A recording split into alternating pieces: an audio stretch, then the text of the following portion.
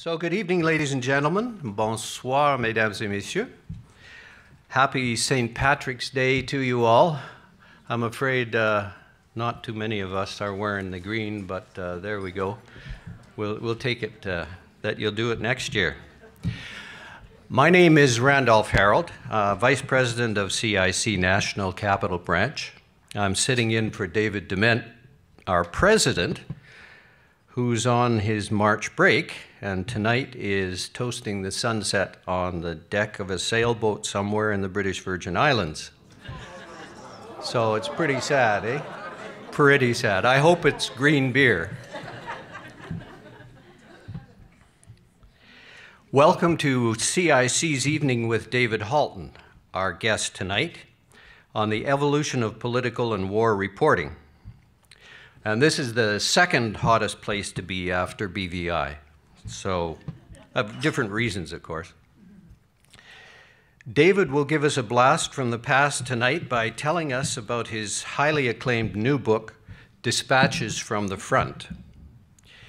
He will as well examine the present day controversial proposition that information technology is killing off quality journalism. I think we'll all learn a great deal about the reporting of Canada's role in the world. But first, some announcements for the branch. Uh, let me acknowledge our sponsors for these events uh, Audiovisual Canada for their continued uh, subsidized uh, service for us, and the Delta City Center for its continuing support, and especially tonight, the extra super hors d'oeuvres and uh, high quality meal that we're all expecting.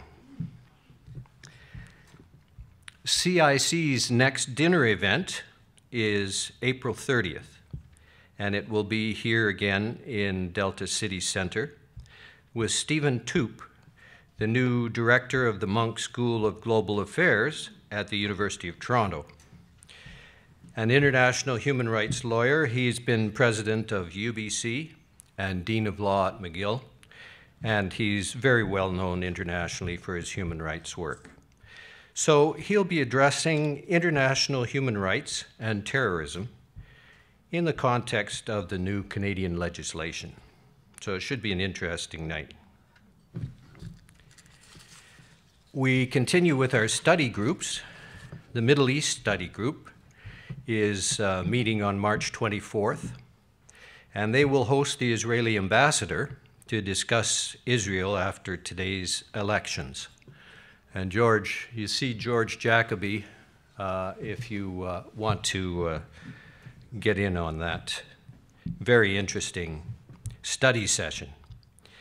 The Asia Pacific Study Group, uh, March 31st, will host the former Canadian ambassador to North and South Korea, Marius Grinius, to discuss the Hermit Kingdom with nukes. So that should be uh, an interesting discussion. Marius is uh, quite an entertaining chap. So now on to the blast from the past. David has written a highly acclaimed biography of his father, Matthew Halton. For Canadians of a certain vintage, a veteran Toronto Daily Star reporter, Daily Star, you'll note, uh, and CBC broadcaster Matthew Halton was the voice of World War II. His gripping, passionate broadcasts chronicled victories and losses of Canadian soldiers from Tobruk to El Alamein, from Sicily to Normandy and Paris. He brought the war home to Canadians and became a national hero for his daring reporting from the front lines. Born in Pincher Creek, Alberta in 1904, of British homesteader parents, Matthew Halton was to achieve the fastest ever ascent in Canadian journalism in the 1930s. A year after joining the Toronto Daily Star as a cub reporter, he was in Berlin to write about Adolf Hitler's seizure of power, and long before most other correspondents, to begin a prophetic series of warnings about the Nazi regime. For more than two decades, he witnessed firsthand the major political and military events of the era. He covered Europe's uh, drift to disaster, including the breakdown of the League of Nations, the Spanish Civil War, the sellout to fascism at Munich, and the Nazi takeover of Czechoslovakia. Along the way, he interviewed Franklin Delano Roosevelt, Hermann Goring, Neville Chamberlain, Charles de Gaulle, Mahatma Gandhi, and dozens of others who shaped the history of the century.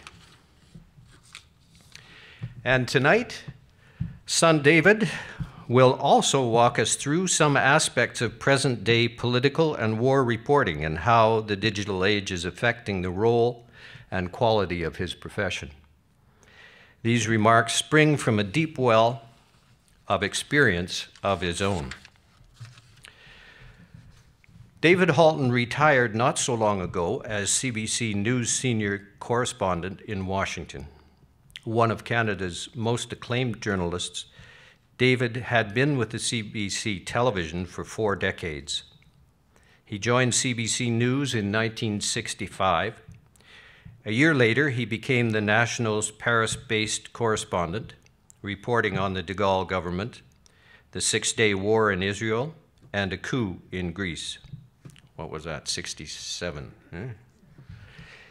He was CBC's Moscow correspondent between 1967 and 1968, and after returning to Paris in 1968, covered events in the Middle East and the war in Vietnam. In 1971, Halton became the National's reporter in Quebec, and three years later returned to Europe as CBC's London correspondent. While based in London, he also reported from the Middle East and interviewed such leaders as Harold Wilson, Menachem Begin, Anwar Sadat, King Hussein, and Robert Mugabe. He returned to Canada to host several CBC news specials, such as the October Crisis, before accepting the position of chief political correspondent in Ottawa in 1978.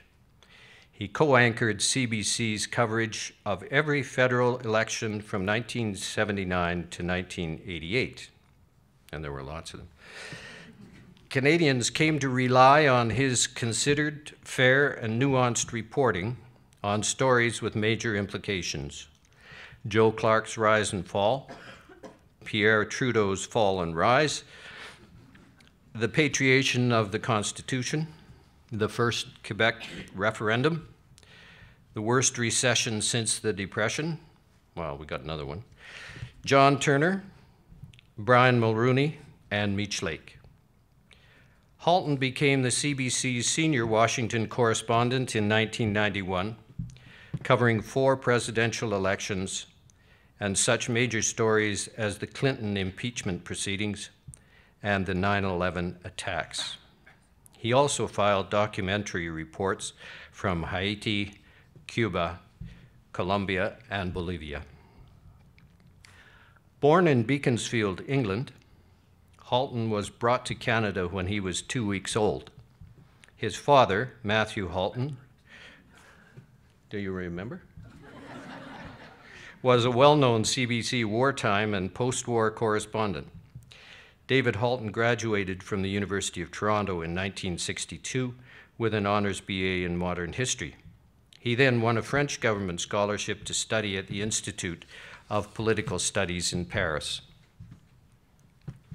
In 2005, uh, David Halton was presented with one of the most prized Gemini Awards, the Gordon Sinclair Award for Broadcast Journalism.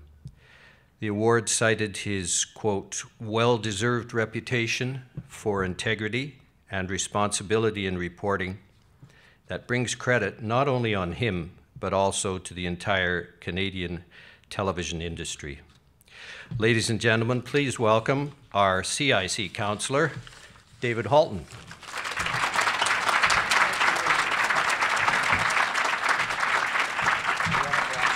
Uh, it's down there. Thank you very much, Randall, for those very kind words and that encyclopedic uh, description of my, uh, my career.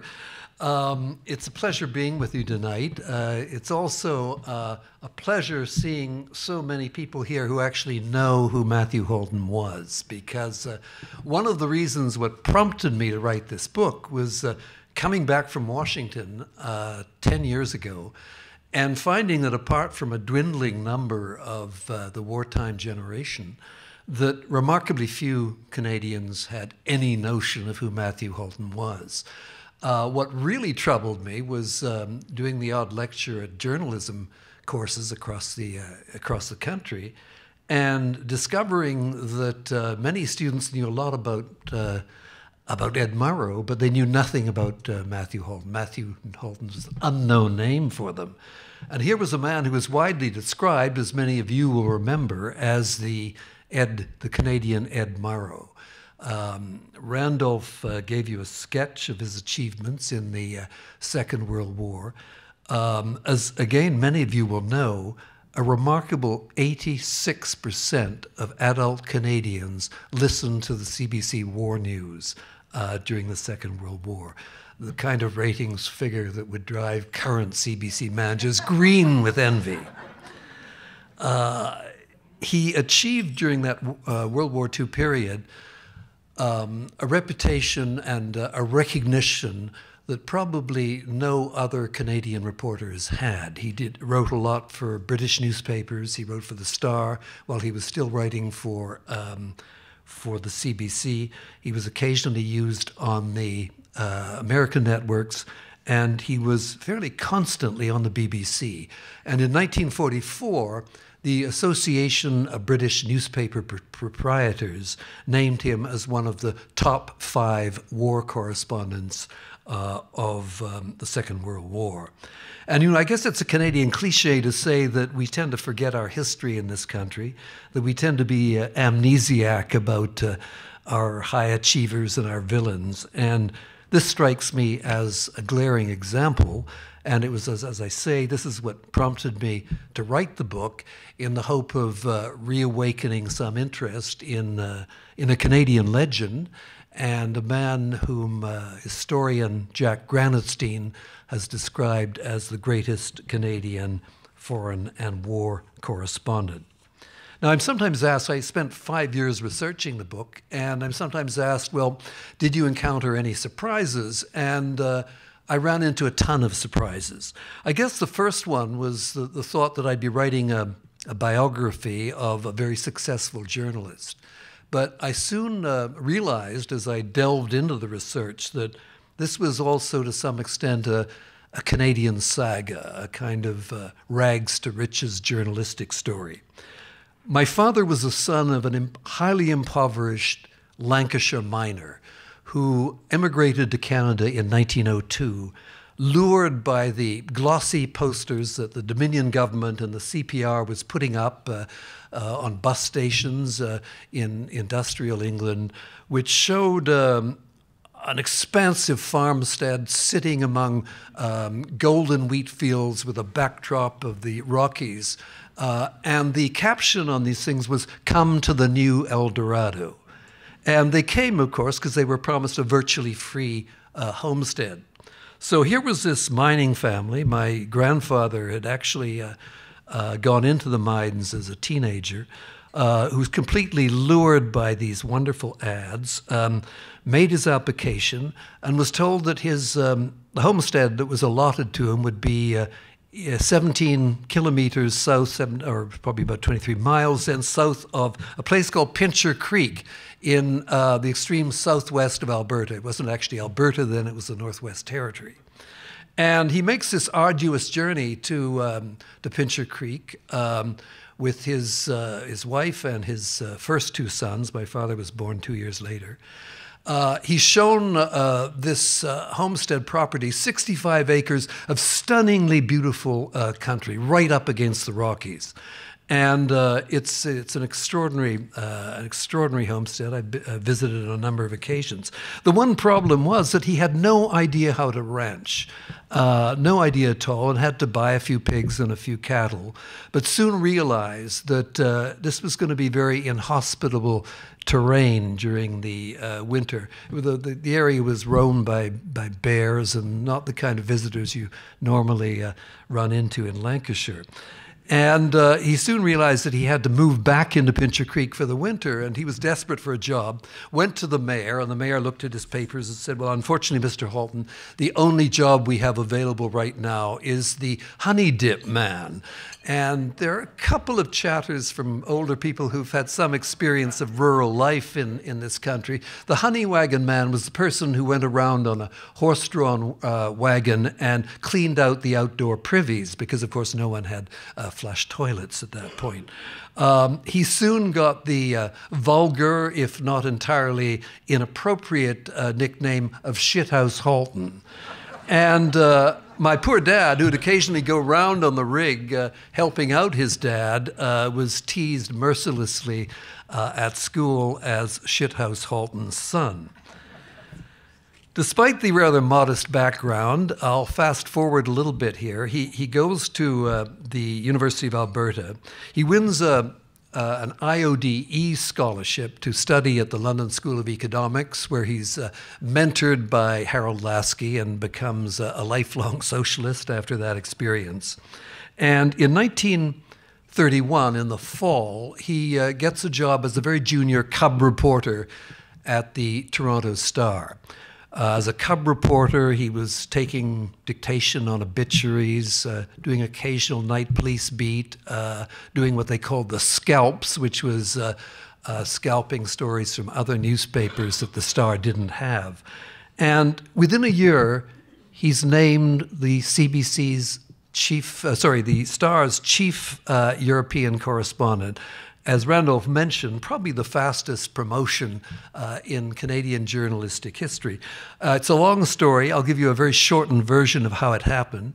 He was noticed that he was a fairly good feature writer, and in the summer of 1932, he was sent up to Ottawa with a group of five senior reporters to cover uh, the biggest conference which until then had ever happened in Ottawa, which was the Imperial Economic Conference of 1932, the summer. Uh, it was a very exciting moment for this country. Uh, headlines said the empire comes to Ottawa. Stanley Baldwin, the British Prime Minister, brought over a delegation of 180 British officials, including Neville Chamberlain, who was then the uh, Chancellor of the Exchequer. Uh, the leaders of all the empire, colonies, and dominions converged on uh, on Ottawa. It was very exciting. The event itself was exciting for about two days, but the problem was that the conference was scheduled to last for three weeks, and the agenda was crashingly boring that was focused almost entirely on debating imperial preferences and uh, you know the cost of tariffs on everything from widgets to you know what. Uh, another key subject was whether um, the gold standard should be enlarged to include uh, other metals. And it was clear that this was an agenda that was sending most people to sleep. On the fourth day of the uh, the conference, uh, my father, very much the junior reporter, probably getting coffee for his more senior colleagues, uh, sits down at the typewriter and writes a parody of the conference, uh, casting all the major characters as Alice in Wonderland uh, characters. Um, R.B. Bennett was the Mock Turtle. Uh, Stanley Baldwin was the Mad Hatter. And he writes this piece, and it goes down with the rest of the copy to Toronto.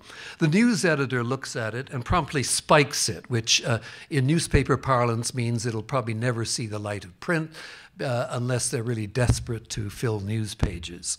A couple of hours later, the managing editor, a man called Harry Hindmarsh, comes down, uh, lifts this off the spike, and says, What's this? And there, there, are several witnesses, by the way, for this story. And the news editor says, uh, Bill Riley is his name, says, Well, it's just some tripe from the new guy. And uh, again, witnesses corroborate this story. Uh, Hindmarsh, the managing editor, uh, begins reading it, uh, starts chuckling, turns and hands it back to the news editor, editor and says, Print it, front page, byline. And uh, again, a couple of hours later, Holy Joe, uh, the uh, publisher and editor, Joe Atkinson of The Star, sends a note. He's read it on the front page of The, the Star. He says, I'd like a Alice in Wonderland parody from that young man Halton for every day of the remaining conference, another two and a half weeks. And, and by the way, give, give that young man Halton a big fat salary increase. Uh, so he managed to sustain the rest of these Alice stories because he had a near photographic memory. And uh, they had great resonance in Canada because at that point, of course, every young person had read Alice in Wonderland. It was a staple of growing up. So it was a big hit, and uh, R.B. Bennett didn't like it, mind you, but complained. But uh, uh, it was a big hit, and three months uh, later, he finds himself uh, being appointed as the Star's uh, chief European correspondent. Again, I'll fast forward a little bit. March 1933 uh, finds him in Berlin on the eve of the Reichstag election that uh, confirms, uh, uh, that seals Hitler's fatal grip on power in Germany. Uh, he arrives at the Adlon Hotel, which some of you may know, it's still there, it was destroyed during the Second World War uh, just opposite the Brandenburg Gate on the Unter den Linden. He checks in, it's dusk. Two hours go by, and as it begins to get dark, he hears this huge chant from the Unter den Linden beneath him. He goes to his balcony. He sees that thousands of, uh, tens of thousands of uh, Berliners are gathering uh, for a torchlight parade by the SS. He watches as thousands of SS and brown shirts uh, come marching down uh, the Unter den Linden. Fascinated, and as he later uh, recounts, somewhat repelled, he goes down to the avenue, crosses the street, watches as a group of the SS uh, stop in front of the French embassy, which is just on the other side of the avenue, and start uh, uh, singing a well known Nazi uh, war song, Siegreich wollen wir Frankreich schlagen. Victoriously, we will smash France. Uh, he waits a little bit and then sees a parade of younger uh, Germans, mainly school kids, carrying the swastika flag and shouting, uh, the Jews must be destroyed. He sees four young people uh, who obviously were, weren't supporters of the Nazi regime uh, arrested and thrown into a paddy wagon. It's that evening forms a lasting impression in a curious way of uh, the evil of the Nazi regime. It frames a, a, a an almost revelation of what this regime is all about in a curious way. He goes back to his hotel room, sits down at his typewriter, and the lead story he writes is Germany enters a nightmare. I feel it in my bones. Pan Germanism is on the march again, but in a new and demoniac form. He's only in Berlin very briefly then, but he's back in Germany three months later for an assignment of almost three months which produces uh, an extraordinary series of 30 long, comprehensive uh, articles about almost every defining aspect of Nazi Germany. He focuses very much on the rearmament program. He visits schools and talks of the indoctrination of, of, of boys. He watches 16 year olds being given uh, fake um, hand grenades and told to throw them against targets. He, um, he visits SS centers. He uh, visits the Jewish community in Leipzig and uh, writes prophetically of that visit that the terror goes on unremittingly in the form of a deliberate and implacable intention to wipe the Jews out of the economic and social life of Germany. He becomes later the first uh, foreign reporter to be admitted to the Dachau concentration camp for a visit that's uh, sanitized. He's not allowed to talk to the inmates and so on, but it still gives him an impression of the, uh, the of the repression that is now and terror that is taking hold in Germany. Now, what's really, we, all this sounds quite normal looking back from our perspective today, but he was very much a lone voice in writing this and at this particular time in 1933. And he was widely denounced in Canada as a warmonger and as a sensationalist. The Roman Catholic Archbishop of Toronto advised his flock not to read the Toronto Star. Uh, isolationism was strong. Uh, there were still memories of uh, the massacre of World War I. People in Canada and in the US and Britain didn't want to get involved in distant problems in Europe. So he was very much a lone voice. And uh, I said, well, what were other newspapers saying? And I went back to the archives and I read the Montreal Gazette and the Globe. And at much the same time as my father was producing what became known as the German series, uh, another reporter wrote a series for the, the, the uh, Globe and the Gazette, which was quite remarkable in that it, it praised Hitler for restoring order and stability in Germany. Uh, it uh, said that reports of the repression of Jews and opponents in Germany uh, were, quote, imaginative lies. And it was so, uh, it, it, so praised the regime that Goebbels uh, offered this man an interview with Hitler, which, which he did, and which he lavished praise on Hitler. This is what a whole lot of Canadians were reading in 1933. And it was not just in Canada, of course, the, the same trend was apparent in the US. Even the great Walter Lippmann, uh, in a column, wrote that uh, the exact quote was um, that uh, Hitler was the authentic voice of a genuinely civilized people. This was the current of what was happening at that point. In any event, uh, my father continued his sort of lone crusade uh, uh, against uh, fascism. Uh, Randolph explained many of the events he covered, the seminal events, the breakdown of the League of Nations, the Spanish Civil War, and so on.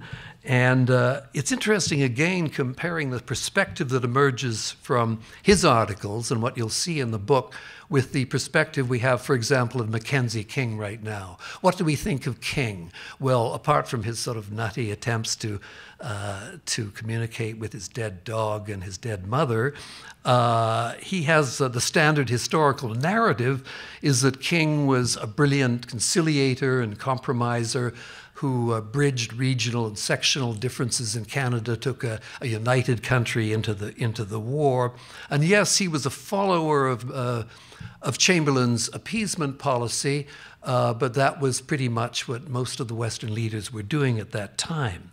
The picture that comes from my father's writings is a much more negative picture of Mackenzie King's record in dealing with foreign policy and specifically with Germany in the 1930s.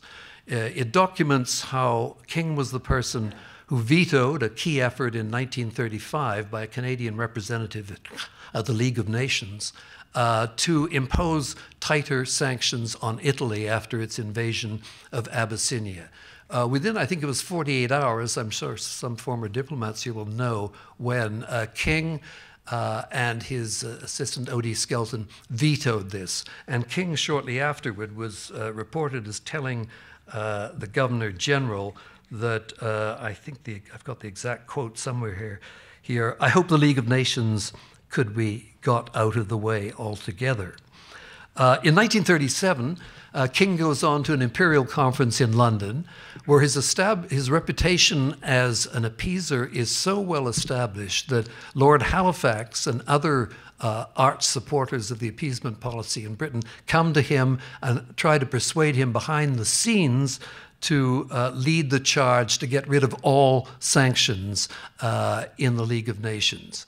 Uh, my father and the Winnipeg Free Press person get wind of this. They're well connected in London and they write a story, and the London Times correspondent uh, picks it up in Ottawa. Yes, there was a London Times correspondent in Ottawa then, and um, it comes back to London, and uh, King uh, denies the story. A few months later, he's actually in Berlin to become the first, uh, I guess, major Western leader to uh, have uh, a long session with with Hitler. Uh, my dad's outside the, uh, the presidential palace on the Wilhelmstrasse as uh, King comes out. Normally, Hitler has meetings of about uh, half an hour at most with foreign leaders, but this was an hour and a half, a clear indication that they'd got on pretty well. King comes out and says uh, very little. It was a reassuring meeting. He says, I'm very reassured, and that was about the sum of it.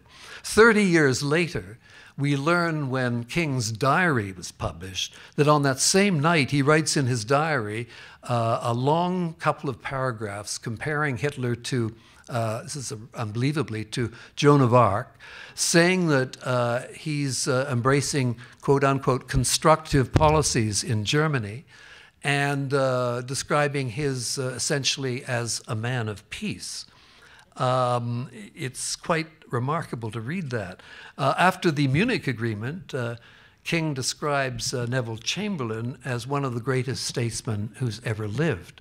And two years after that, he describes of another British politician that he's one of the most uh, dangerous politicians I've met. You can probably guess who that uh, politician was Winston Churchill.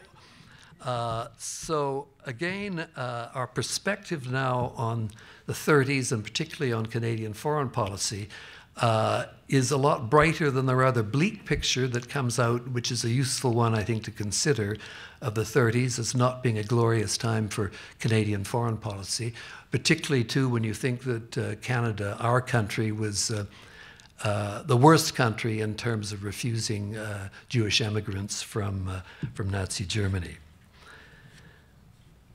By the end of the 1930s, my dad's built up a, probably a higher international profile than just about any Canadian journalist uh, before or since.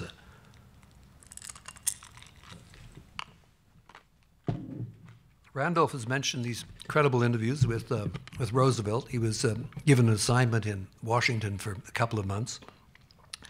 Um, he also had an incredible scoop uh, when he uh, was asked to come over with a, photogra- a photo team to uh, to get uh, uh, pictures of the royal family in 1939 before the famous visit to Canada in, uh, in 1939. And at that point, and almost to this day, the protocol dictates that you don't interview the royal family except on extremely rare occasions.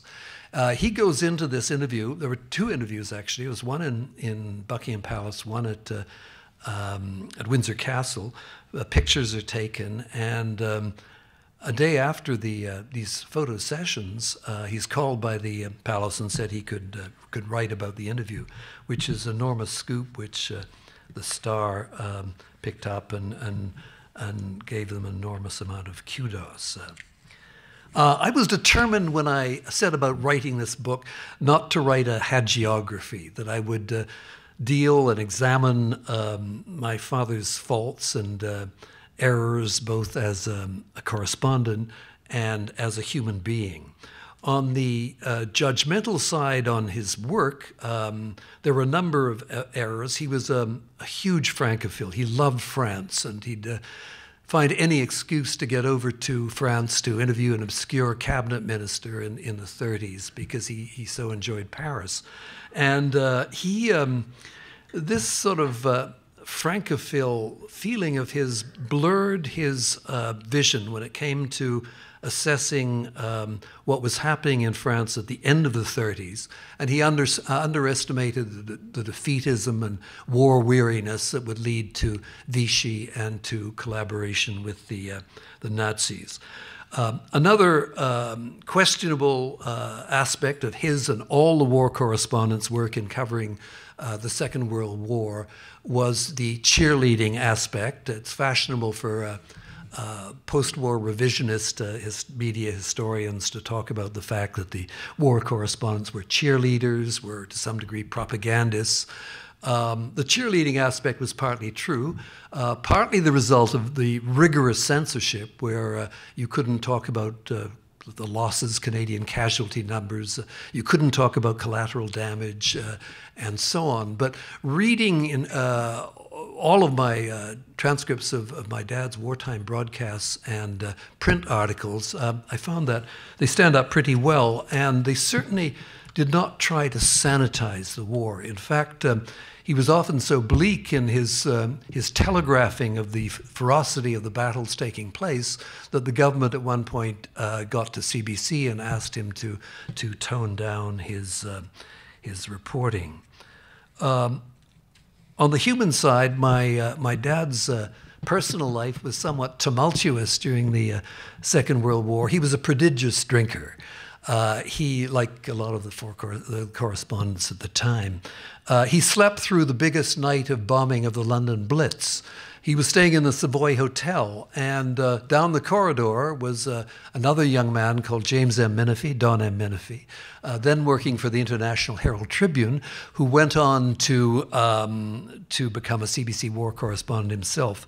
A delayed action bomb uh, went out just beside the hotel. It blew out windows. There were about 14 serious injuries. Uh, Minifie's left eye was, was, uh, was completely borne out. He was half blind for the rest of his life. Uh, but my dad slept right through till noon the next day. Uh, another example, he was uh, in Torgau on the Elbe River when the Red Army met up with the Americans, historic moment. And uh, the Soviet Army put on a a gargantuan party that lasted 10 hours with vast amounts of cheap Soviet champagne and cognac, of which uh, my dad apparently availed himself fully. And uh, he wrote my mother a couple of, uh, a couple of uh, days later saying that for a four hour period he had no memory of what happened until a Canadian conducting officer told him that uh, he'd gone out with a Soviet colonel and they'd thrown uh, bottles of, of, cognac at targets in the street. Um, an indication again of uh, some fairly massive drinking binges.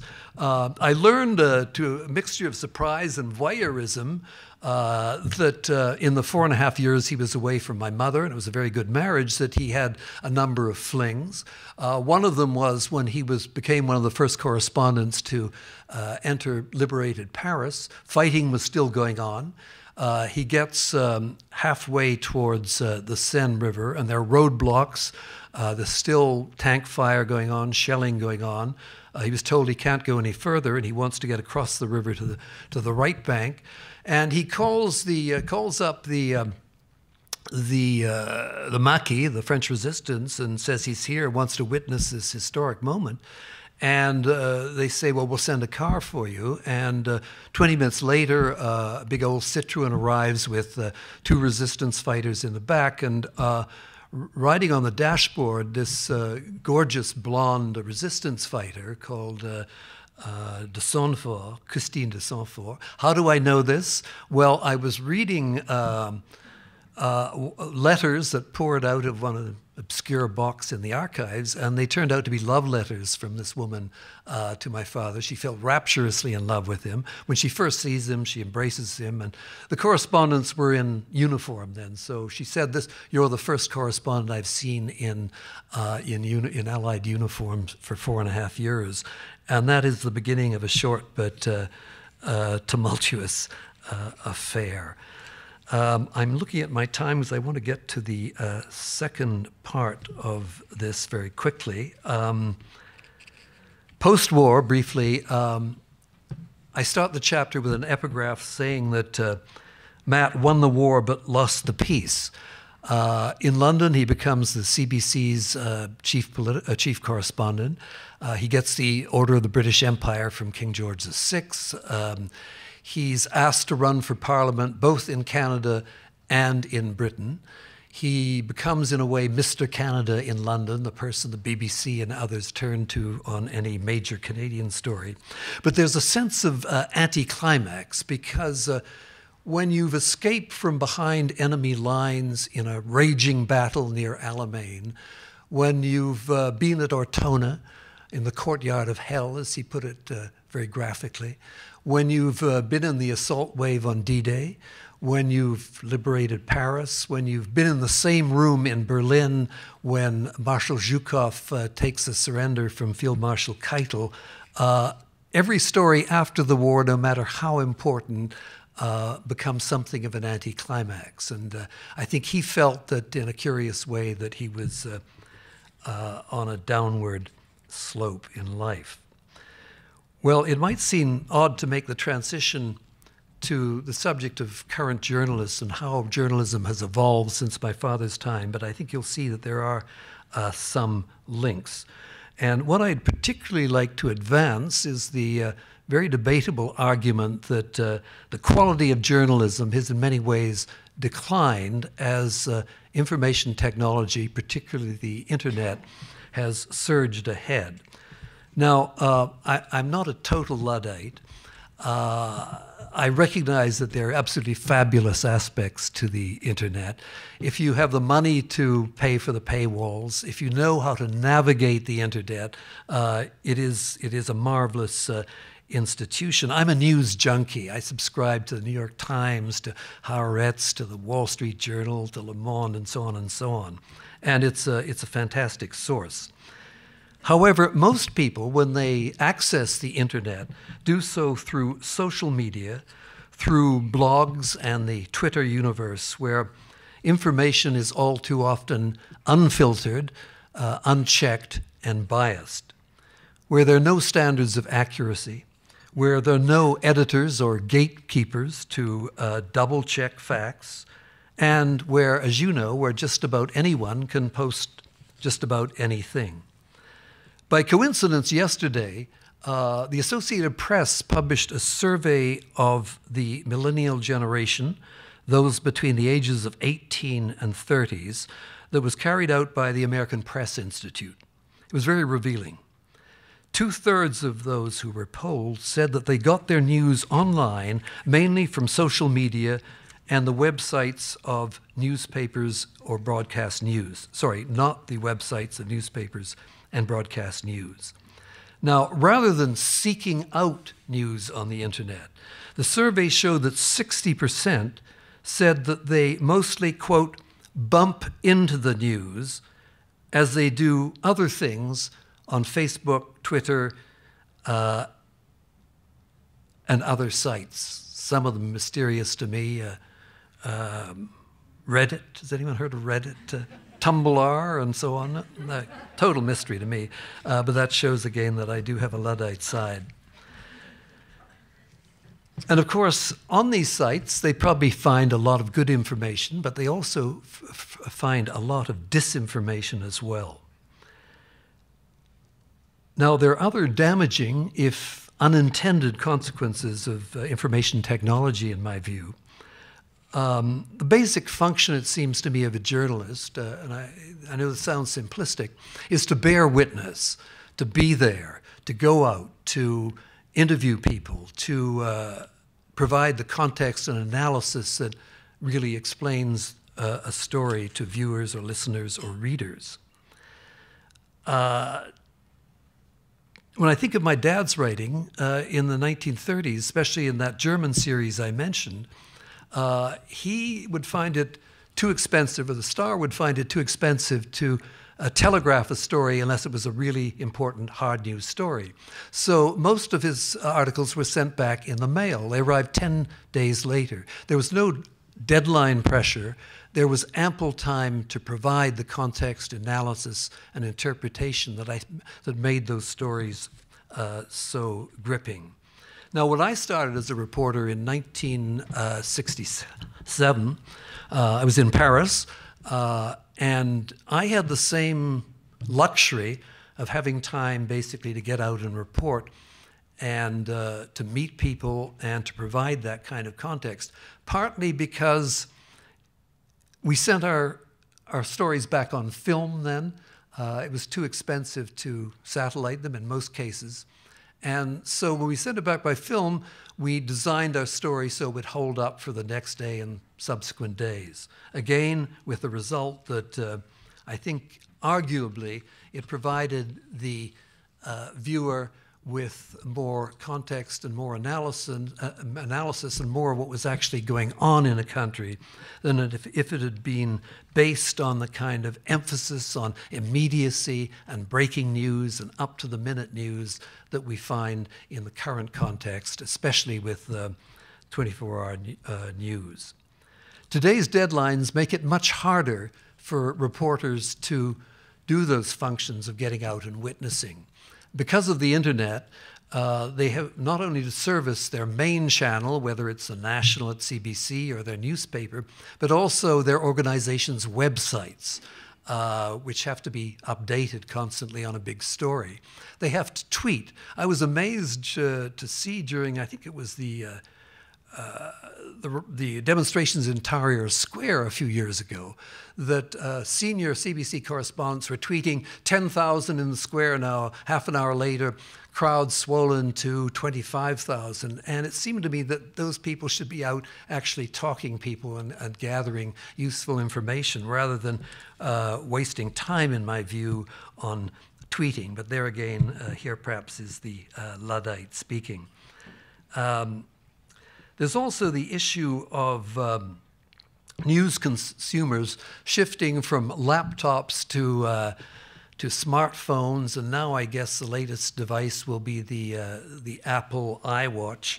Uh, I sometimes wonder if it would be what would happen if my father's 30 series long articles um, had to be translated into the Twitter world of uh, what is it, 140 uh, uh, words uh, characters uh, and the world of the iWatch.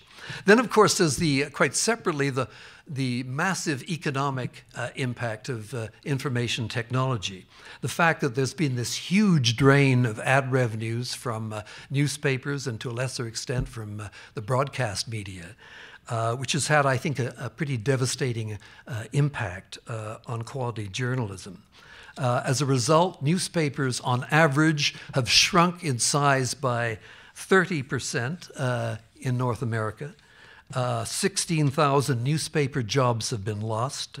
26% uh, of all magazine jobs have been lost. Some of these jobs, but relatively few, have been picked up by digital media. But it's still uh, a serious drain on journalistic talent uh, the fierce pressure to hold readers, to uh, uh, stem up ratings against the kind of losses that news organizations face, has led to the news light trend, the emphasis more on entertainment than information. Uh, you know the formula crime, uh, uh, more health stories, more so called news you can use, which uh, I think is, offers a, a serious dangers to serious journalism. As regards foreign correspondence, um, the situation is especially bleak. Uh, now there are almost two thirds fewer Canadian foreign correspondents than there were uh, two decades ago. Uh, some of you will remember the glory days of Southam News when uh, Southams had seven or eight absolutely first class foreign correspondents. Now you look at their successor, uh, Postmedia, what do they have? Well, they have the roving correspondent, Matthew Fisher. Uh, they have someone shared in Washington. I don't believe they have a correspondent in London. I may be wrong on that. But the same pattern of downsizing and layoffs has happened, and closing of bureaus has happened right across the Canadian journalistic spectrum. Uh, CBC, Star, and Globe uh, all suffer uh, as well. One consequence of having fewer foreign correspondents is that, of course, you don't have a Canadian perspective on the world. You don't have a Canadian eyes uh, examining and reflecting our national interests abroad, which often are different from American or British interests, and which are important to reflect because, if only because we were an important trading nation. And uh, you know, some people will say, "Well, what does it matter? We can use the New York Times service or the Daily Telegraph service and get high-quality journalism." But the fact is that uh, American and British uh, news media uh, almost completely ignore uh, a Canadian point of view or Canadian news. So we are badly shortchanged uh, in that respect. Another aspect, just briefly, of of having fewer foreign correspondents is the uh, tendencies for uh, towards what we call melts in the business. Melts are when a correspondent sits in Toronto or London or Washington and does a story that may have happened thousands of kilometers away, but he gets agency pictures and wire service copy, and he or she puts together um, often a very good piece, but one which suffers again from the fact that. Uh, There's no witnessing of the events. There are other unintended consequences from the internet uh, that have a negative impact. Uh, I leave it to sociologists and uh, philosophers to expound on uh, the so called atomization of the internet, the fact that with the vast sources of points of contact, uh, society no longer has a unifying uh, knowledge base derived from sharing uh, the same relatively few uh, numbers of traditional news sources. nor will I deal with the arguments uh, that, polar, that uh, the internet accentuates polarization. There have been studies that show that uh, there's a strong tendency for um, people to turn to internet blog sites uh, that reflect and reinforce their own political prejudices, whether of the left or right. And the traditional notion of a distinction between fact and opinion is getting increasingly blurred in the blogosphere. Uh, I don't want to be too alarmist about this, uh, this topic. Uh, much fine journalism is still being done in this country and abroad. Uh, and let's hope it continues despite the uh, adverse pressures from uh, IT. I look forward to any questions or comments that you may have, um, either about the current state of journalism or about my biography of my dad, which I hope you will enjoy reading as much as I enjoyed writing it. Thank you.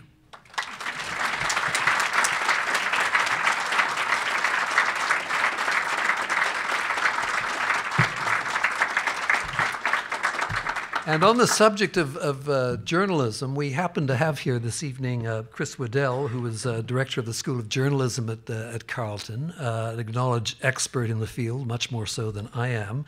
So perhaps we could ask uh, Chris to um, uh, lead off and uh, shoot down any or all of the views that uh, I've advanced tonight. Uh, there, that's fine. Yeah, yeah.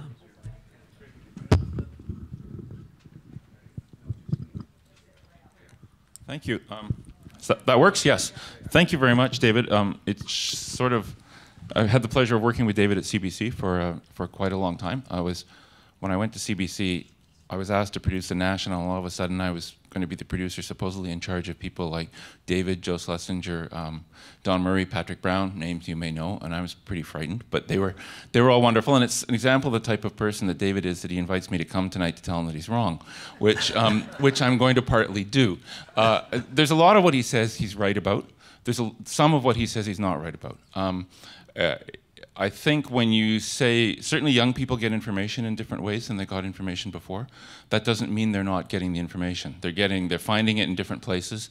Uh, Twitter, not so much. Facebook, much more. Facebook is much more powerful than Twitter, and and lots of things get posted on Facebook that people see. They don't read newspapers. They don't watch television. Most of them don't have television subscriptions. If I was in the cable news business, I'd be very worried because most young people can't afford both television subscriptions and internet subscriptions, so they don't get television. Um, I can't imagine what's going to happen when they get to be 27 or 28 and they decide all of a sudden they have to start spending $80 a month for a cable TV subscription. So I think the cable news business is in big trouble. The cable business is in big trouble. Uh, but I think they still get lots of information. I think we we have a lot of challenges in that there's a lot of new technologies coming at the same time. We don't um, necessarily use them all the best way they could be used. But uh, Twitter has its uses and it also has its wastes.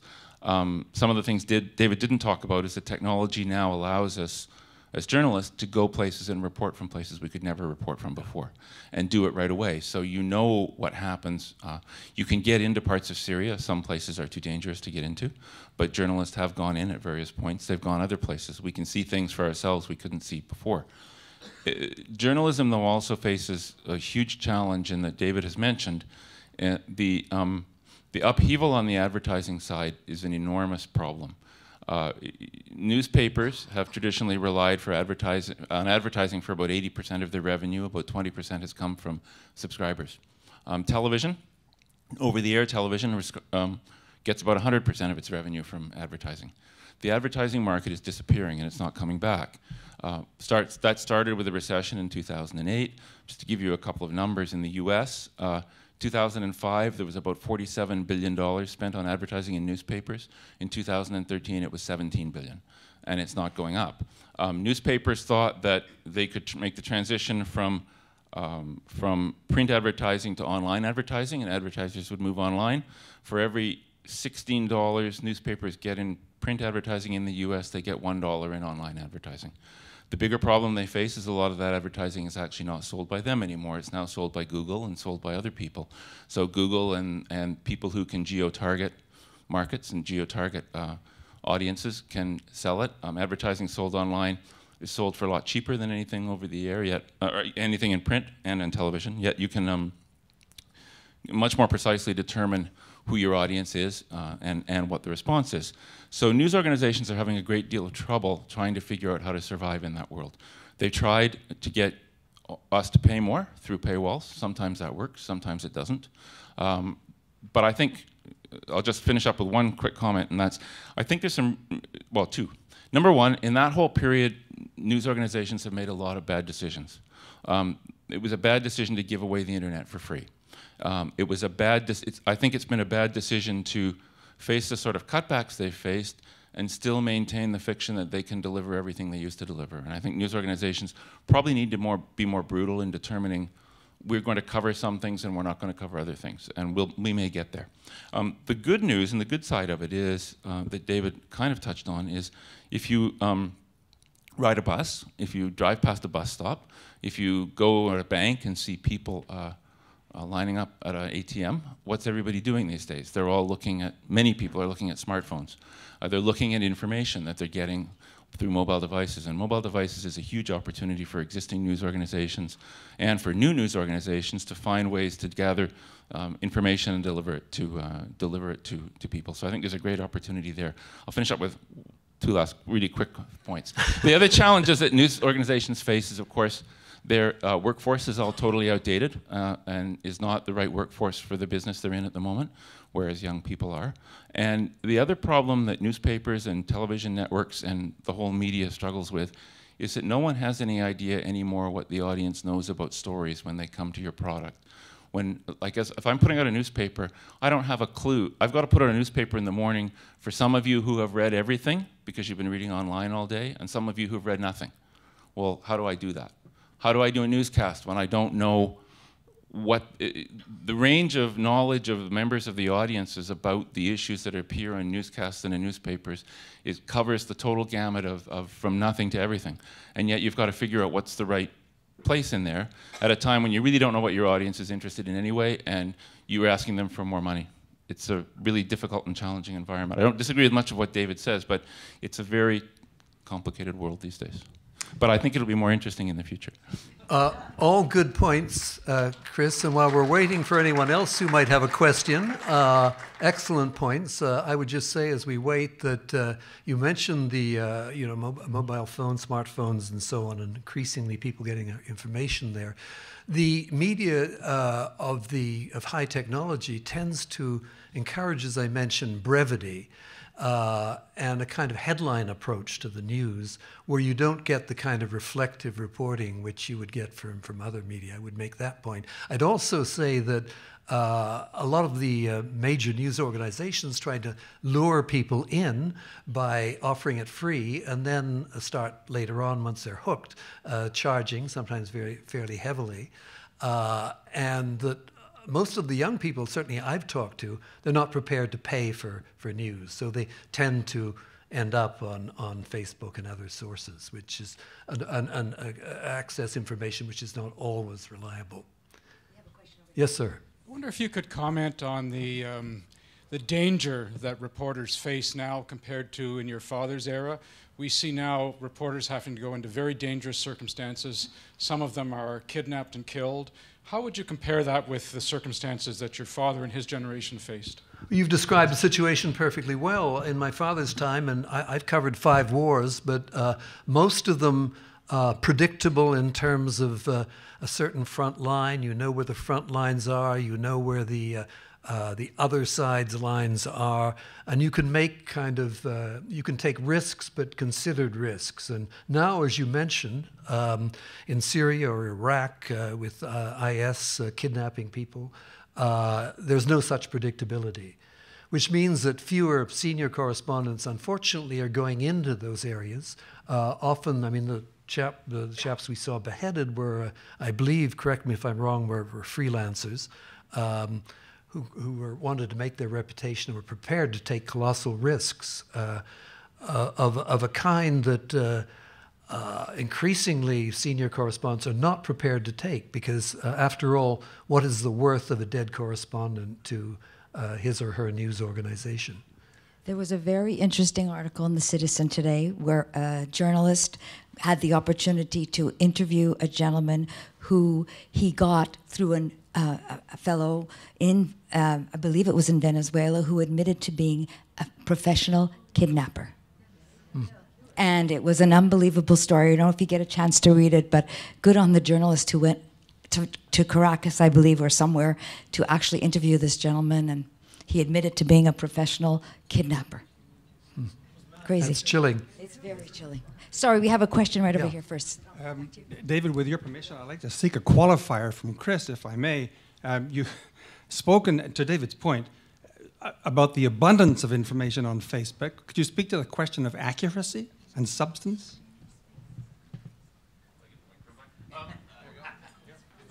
Yeah, it's, it's it, it, some's accurate, some's not accurate. One of the problems of, in, of the growth of information is that much more of the um, what the word much more of the requirement is being placed on you to sort out what's right from what's wrong and and that you're also now being forced more to actually search around for information rather than finding it all in one place um, the material that gets posted on facebook is in some cases simply just um, uh, uh, a link to a story in a news in, in, a, in a newspaper in a news organization or, or a television story or video uh, I think there's a range of accuracy. Some of it's accurate, some of it's not.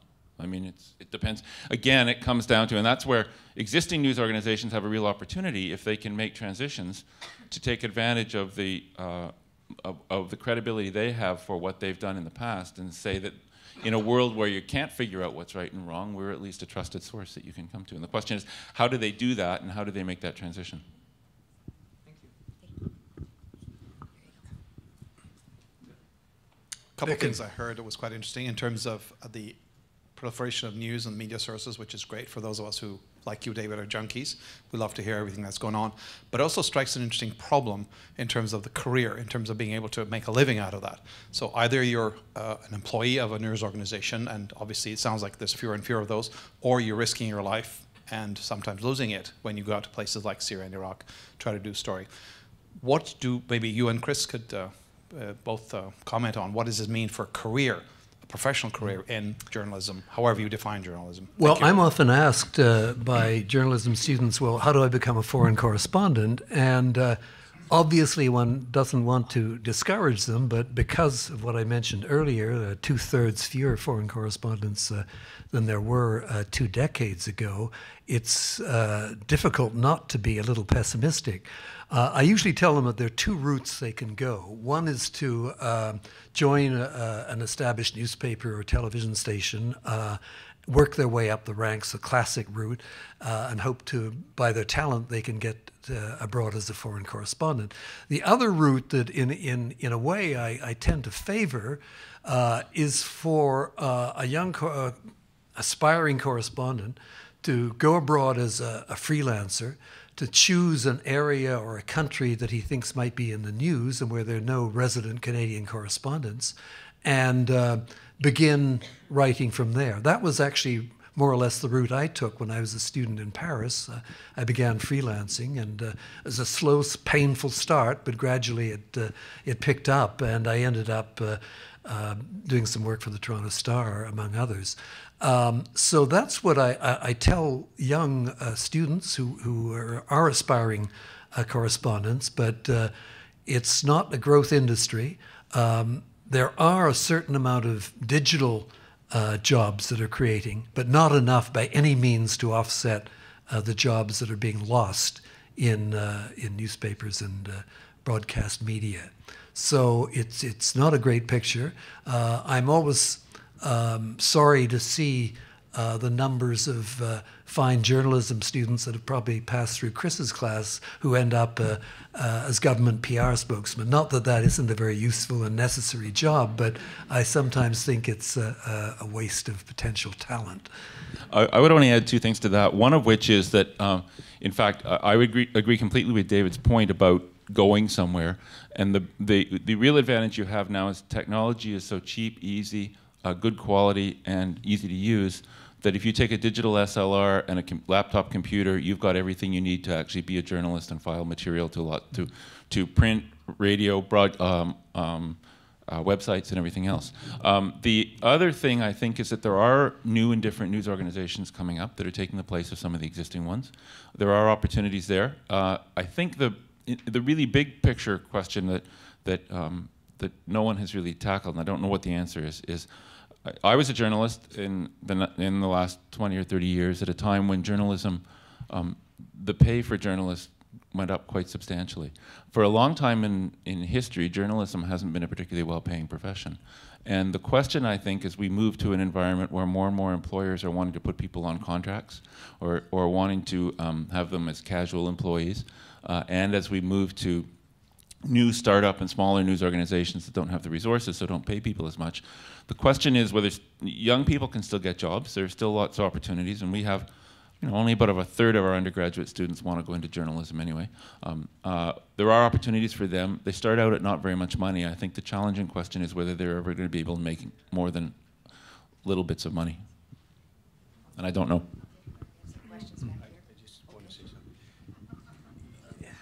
Um, thanks very much, Chris. I wonder, it, it also uh, possibly raises uh, serious questions of accreditation. I mean, how do you know uh, there's some freelancer who's operating in, in Syria?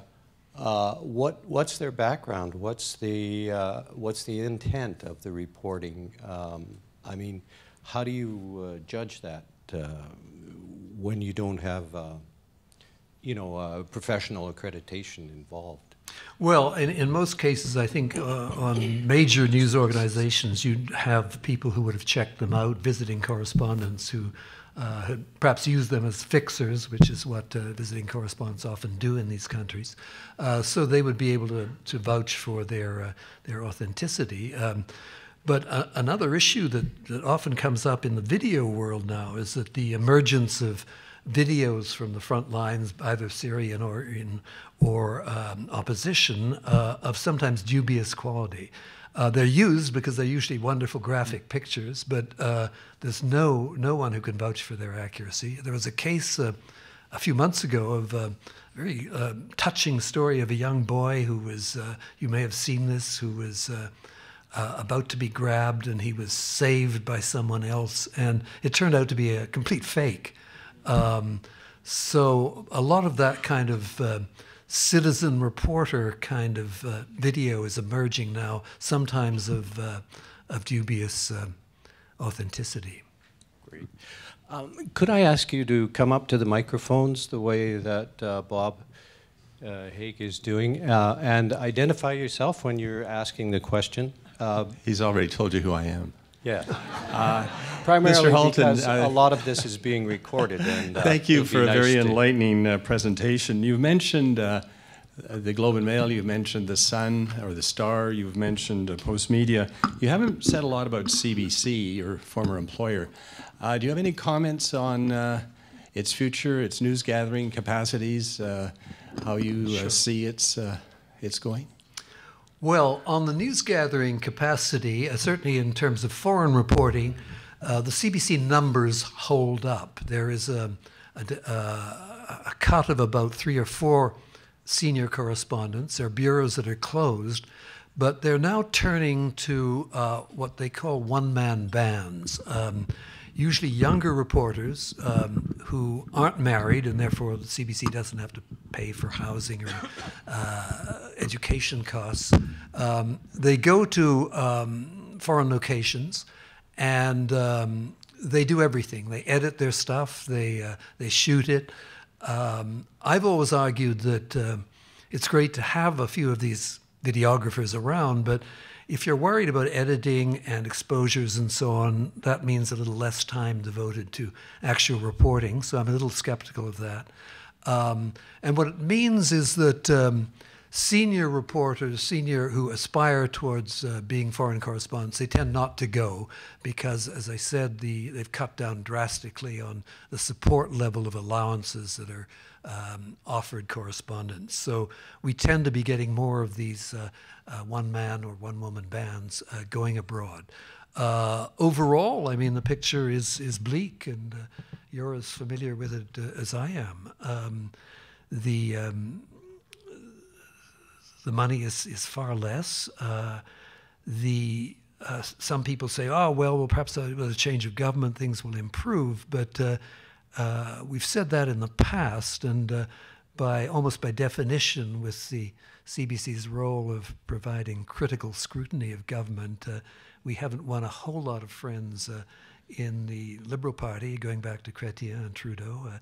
Um, so I'm not betting a huge sum of money on the fact that things will turn around for the CBC uh, if there's a, a, change of government in the next election. I will say they can't get much worse than they are right now.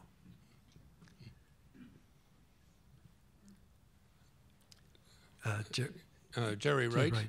Uh, a lot of people in this room, David, uh, have had public service careers, at least the more senior ones, and uh, have undoubtedly, over the course of those careers, had to throttle the temptation to uh, leak information to, to members of the press.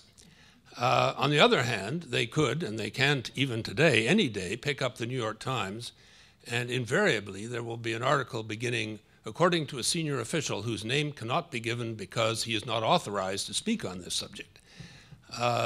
Uh, leaking obviously is a, a, standard operating procedure in, uh, in Washington. Now, you've worked in both Ottawa and Washington. Uh, with the objectivity that you've undoubtedly acquired in retirement, uh, could, you, uh, could you tell us uh, do you admire more a culture of openness in, in Washington as opposed to a culture of which puts more a greater premium on loyalty and discretion that you might find here in Ottawa? Well, first I'd say there there has been a culture of openness here in Ottawa for most of the, the time I was reporting from here. Uh, I came uh, came to Ottawa when, when Pierre Trudeau was prime minister. Um, senior bureaucrats, uh, as most of you well know, if they trusted the journalist, uh, would be prepared to uh, give him or her as much inf- information as they could because they, it was in their interest to see accuracy uh, emerge uh, in the news stories. Uh, th- there was never a serious problem of serious of, of uh, senior civil servants being gagged. When Brian Mulroney came in, there was a period when there was a great suspicion of of a bureaucracy seen as liberal, uh, there was a very temporary so called gag rule that some of you may remember that went into effect. Uh, but it was completely disrespected by most of the uh, uh most senior bureaucrats because if they again if they trusted you, uh, they uh, they weren't prepared to uh, to be restrained in terms of the background information they were providing. So I think it's really only with the the Harper government, and I, am not that well informed about it because I'm not a practicing journalist here, where uh, you really have a, a, freeze on, on contacts that is taken very seriously by uh, civil servants because their jobs are at stake if they if they talk too much to to journalists. But it's it must be immensely frustrating for uh, members of the uh, Ottawa Press Gallery now to function in this environment where it's it's very hard to uh, to get information from the civil service or from, from cabinet. Again, in, in my time here, if you were working for the Globe or CTV or CBC, um, you could you had extraordinary access to cabinet ministers. You could call up their offices in the morning and usually get an interview if you needed it uh, in the afternoon, which was uh, was wonderful. Uh, now, of course, uh, cabinet ministers have to check with the PMO. Uh, they're often given uh, given the scripts, the messaging of what they can say. So that again is a very frustrating aspect of reporting out of out of Ottawa today. In Washington, yes, there's a heavy dependence on senior sources. As um, a foreign correspondent there working for, for CBC, um, it was very difficult to have that high level of access uh, because uh, you know people would want to talk to the New York Times or the L.A. Times or the Washington Post and so on. Uh, it was difficult to get uh, uh, access, confidential access to senior sources. What you had in Washington, though, was this amazing array of think tanks. 50 or 60 of the of major ones who were all anxious to make their uh, their talent, their experts uh, available to the media. And if you wanted to do a, a report, say, on the Kurds in northern Iraq, you could probably find, and I kid you not, about 40 or 50 experts in that field alone. And here in Ottawa, if you wanted to do the same thing, uh, I don't know, maybe you'd find one or two at the U of O or Carleton. Uh, but there's this uh, wealth, this embarras de richesse uh, in Washington in terms of the think tanks and their availability for journalists. Good evening. Um, I'm not of that older generation, but I am a civil servant. Um, moreover, I'm a civil servant who has served in two wars uh, in a civilian role um, in, Iraq, in uh, Afghanistan and in Libya. And I have a job to report every day accurately uh, to our government on what's happening around the world, uh, doing the kind of reporting that you've alluded to a number of times while you've been speaking. I've often found that I am one, um, I'm a two legged stool I don't have a key partner. And that partner is the absence of a journalist in the field beside us who's contributing to a nuanced, educated public debate in Canada about the policy issues that face us around the world. As you said, we're a trading nation. We are a member of NATO. We're a leading member of the United Nations. We have responsibilities. We are engaged on a number of fronts, a number of times. You've talked about the difficulty in maintaining uh, foreign correspondence overseas, the changing way information is, is, is, is, is being uh, uh, absorbed by different people. But what you haven't mentioned is do you think Canadians care? Do you think that there's a business market, uh, that there's a real uh, demand for Canadian specific reporting? Or is the lack of those opportunities reflective of a population that simply doesn't see those interests? Well, I would say first that there is definitely an appetite for uh, world news seen through, as I mentioned, the perspective of uh, Canadian reporters that reflect Canadian interests. Uh, uh if only from an economic point of view, this is a trading nation uh, with vast ties uh, abroad. there should be more. Um, Informed decisions need to be made on the political and economic uh, developments in the world. Uh, there's that market. There's the market of uh, this being a largely immigrant nation of people with many interests abroad. Uh, I really do think the appetite is there. Um, I'm not sure because of some of the factors I mentioned whether it's being satisfied. Uh, I think another aspect that I find a little depressing here in Ottawa is that we don't have the, uh, we have a few good defense uh, correspondents specializing in defense. Um, we don't have the tradition, the European tradition and the American tradition of having a diplomatic reporter. So I think foreign news, as seen from here, is uh, often uh, inadequate. Um, you look at, we have two or three former spokespersons for external affairs here who probably uh, share my views on this. Uh, we don't have the tradition of uh, the daily or weekly briefing on foreign affairs that they, they have at the State Department or uh, the Foreign and Commonwealth Office or the Quai d'Orsay. Uh, and we do not have this um, volume of expertise here of people just focusing on uh, giving a priority to foreign affairs. And I think, again, that's reflected in the lack of, uh, um, of detailed, comprehensive foreign reporting that uh, fails to satisfy the, the appetite you mentioned. Uh, one more question, I'm told. Maybe on a personal, more personal level. Thanks, David, for uh, relating uh, for your book and for relating these marvelous stories about your father and his uh, career in uh, as a war correspondent and international journalism. And I guess your son is also in the business.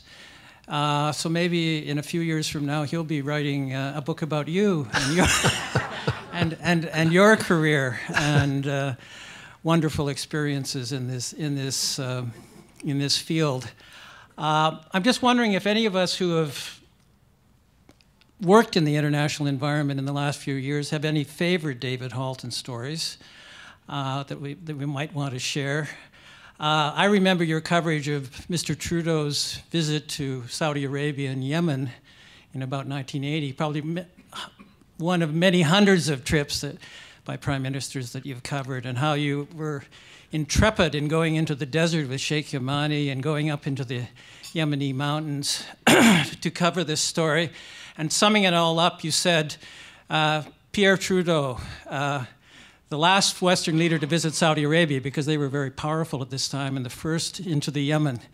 And I think uh, I also recall that the CTV reporter at that time uh, died a few months later in, in the war in, in Lebanon. So it, it all relates to, you know, what exciting stories that, you're, that you've told and that you've lived. And I'm just wondering whether you have any that you would want your son to write about if he ever writes a book about you, about your personal experience? Uh, well, I hope not. Uh, firstly, because uh, uh I had a great career, but it, it pales in comparison with uh, with my dad. Yes, I enjoyed the occasional drink, but I had never had the occasion to liberate a city with the help of a, a beautiful blonde resistance fighter, uh, which. so that is hard to beat, indeed. Um, I'm sometimes asked, well, what was the most dangerous moment you had covering uh, covering wars? And I had Vietnam and uh, uh, the war in Rhodesia and Six Day War and a, and a, couple of others.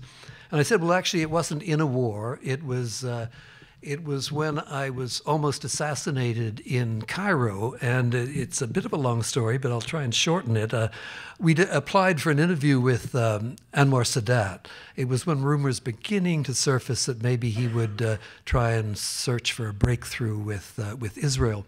I was uh, in Jerusalem, and the London office calls me once saying, uh, "We just heard from uh, the press office in in Cairo that." You may be able to get your interview, but you've got to get to Cairo as soon as possible. So you couldn't fly, obviously, from Jerusalem to Cairo at that point.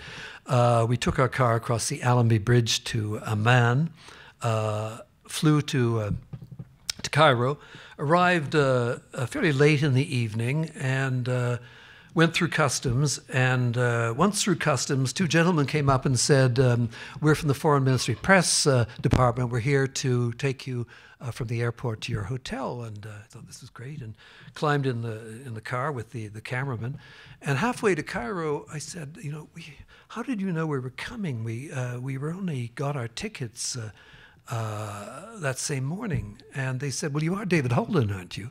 Uh, I said, not David Holden, but David Halton.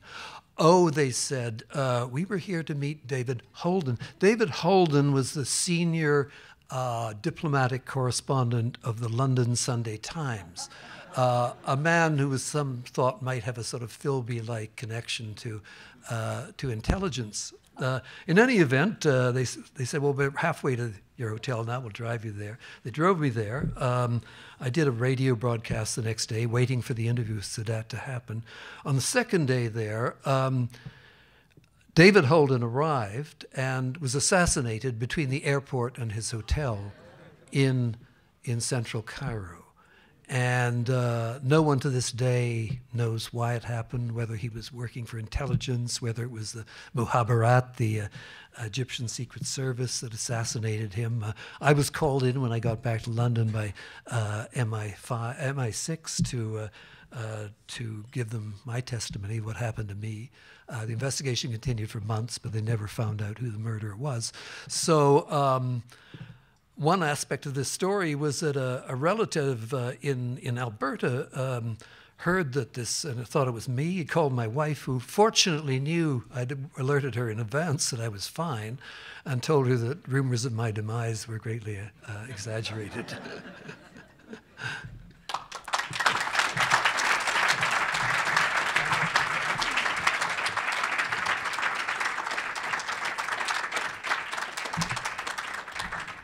Well, thanks so much, David. Unfortunately, we're running uh, out of time. I'm sure uh, most of us might like to spend another hour or two here, but uh, it's not to be. So I'll call on um, uh, former Ambassador Abby Dan, who is also a former uh, Foreign Affairs spokesperson, to uh, give our thanks.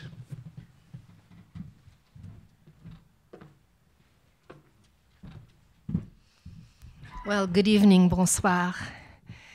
David, it falls to me the very happy task of saying thank you to you. Um, you've given us quite the tour d'horizon, both historically and thematically tonight. And I must say it's been really edifying and really astounding to put oneself back in the time when your father was a war correspondent and a pre war correspondent, probably in particular and what he must have gone through as a human being as well as a professional. But I must say, I think all of us know that the apple doesn't fall too far from the tree in the Halton family. And um, I'd like to also take this opportunity to thank you for the great contribution you've made to Canadian society and Canadian dialogue, particularly in the area of international affairs over the years. It's really been stellar. I had the pleasure to work for a number of years with David uh, as a spokesperson. I was the I was the hack and he was the flack. and um, without, without any exception, David was always unflappable, so professional, uh, so constructive, because sometimes there are uh, times when you have information that you cannot share. You know they have it too, but they can't let you know they have it. and uh, sometimes lives are even at risk with this information. So you have to be very, very careful what you do. And as I say, David was just always impeccable and such a gentleman as well. I know all of the women of the uh, press gallery and all the spokes ladies felt this way about you. So it was, uh, no, but really, not all of them were, believe me. so, um, on behalf of all of us here, I'd just like to thank you again for a really edifying talk and a really um, thoughtful uh, analysis of what's happening as well in journalism today. One thing I think is interesting on that level for us to think about is this whole idea of the individuation of news with the digital revolution and then the individuation of consumption of news. And then how is this really agglomerating into social and political movements? And i think this is a very new area which a lot of our younger members will probably be looking at and addressing in their studies and in their analyses. And i think it's probably one of the really important new areas for research in in journalism and, and frankly in political and social movements. Anyway, again, merci beaucoup. Thank you, Monsieur Halton.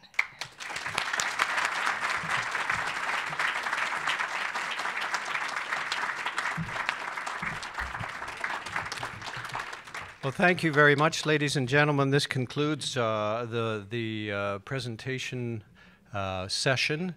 Uh, dinner follows, uh, supposedly at 7:30, and I believe David will be available out at the signature desk for those of you who are not staying on for dinner and have gotten a book and would like to have him inscribe it.